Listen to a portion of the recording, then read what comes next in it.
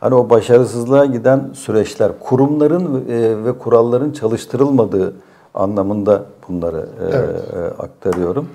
Ve sürekli seçim kaybettikçe partiden kopuş yaşandı. Seçim kaybettikçe partiden kopuş yaşandı. En son Cumhurbaşkanlığı seçiminde tekrar bir umut belirdi, bir heyecanla. Yani bu artık bir de öyle laflar edildi ki köprüden önceki son çıkış. Bu bizim son seçimimiz olabilir. Yani Parti bunlar kadroları da kendilerine bakanlık seçmeye başladı. Bak, Yani- bakanlıklar belirlendi, her şey yani sanki bitmiş gibi. Sonradan ortaya çıkan o süreçte kazanmak için her türlü Verilen e, ödünler. ödünler verilmiş. Yani kabul edilemez ödünler verilmiş. E, sırf kazanmak için. Hani kazansaydık da hani sonuçta belki konuşulmayacaktı onlar. Yani konuşulmayacaktı. Ama ondan sonra yaşayacaklarımız da belki çok sıkıntılı şeyler olacaktı.